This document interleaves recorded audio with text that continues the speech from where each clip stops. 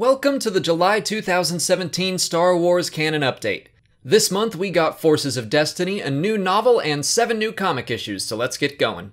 The first eight Forces of Destiny episodes premiered on the Disney YouTube channel. I'm not going to review each one individually because, in my opinion, they aren't that significant as far as story goes.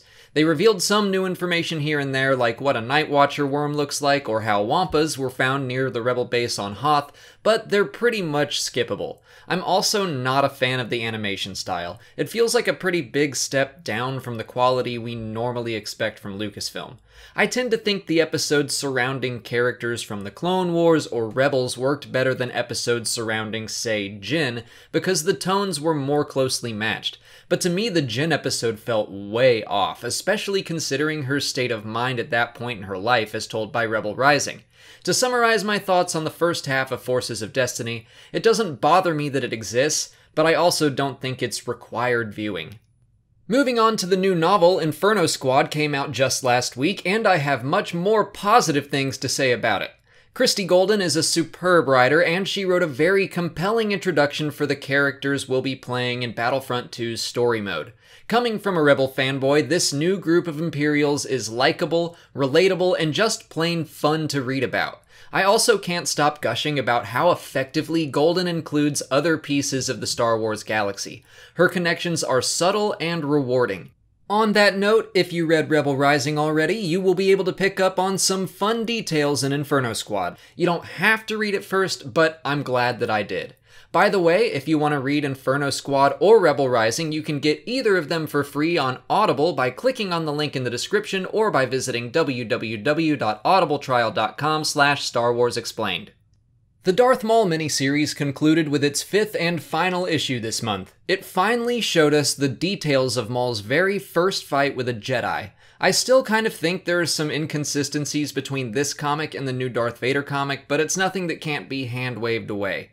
If you were waiting until the series was over to decide whether or not to pick this up, I say read it. Except for Lando, the Darth Maul comic is my favorite of the five issue series.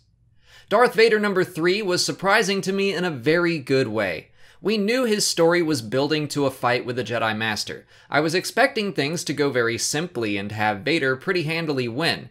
Instead, he got his butt kicked, and that pleasantly surprised me. I think it makes much more sense that he would lose at this point in his life. I just wasn't expecting the comic to go that route. The new Jedi Master is a compelling character and a badass, and I look forward to seeing how the rest of the story pans out. Star Wars number 33 was interesting. It seems like it was a standalone story about Luke and Leia stranded on a seemingly deserted planet. It was mostly about Leia and where she's at mentally right now, and it was surprisingly moving. She notes being able to see Alderaan in certain parts of the galaxy because the light of the planet is still traveling through space. That's something I never considered, even though it makes perfect sense. Well, I don't know how much sense it makes that Leia can pick out a single planet no matter where she is in the galaxy, but thematically, I like what she said. In the next issue, it looks like we're getting a story with Lando, which is always welcome, but there's one thing about the Star Wars run that frustrates me right now. 3PO has been captured by the Empire for a long time. R2 immediately ran off to save him on his own, and everyone else has just been doing their own thing. I just want a little follow up on that storyline, that's all. Dr. Aphra issues 9 and 10 began a new story arc after the disappointing Screaming Citadel crossover. The first two issues are promising as Aphra attempts to sell the Rur crystal she obtained in the first arc. As expected, this does not go well. I like the whole Rur thing, and I hope he continues to reveal more ancient history, but after these next issues, I think I'd like to see Aphra start a new adventure and go back to some Indiana Jones style treasure hunting.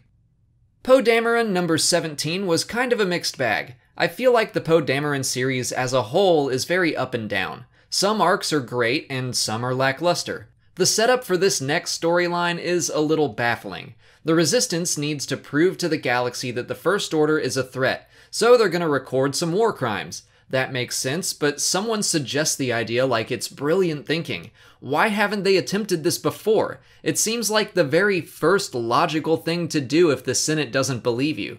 Oh well, I'm willing to reserve judgment until the arc is over. Rogue One Issue 4 continues to show us some scenes that weren't in the film. One is between Bodhi and K2 as they bond over both being quote unquote reprogrammed Imperials. There's a nice scene between Mon Mothma and Jyn, but the one I liked the most highlighted some of the terrible things Rebel operatives did that they wanted to atone for.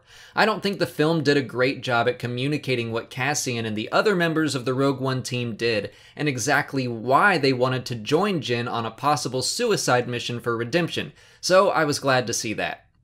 Also released this month was the third part of the comic adaptation of Weapon of a Jedi. As for story of the month in July, I'm gonna go with Inferno Squad. If you only read one new story from July, I'd make it Christie Golden's new novel.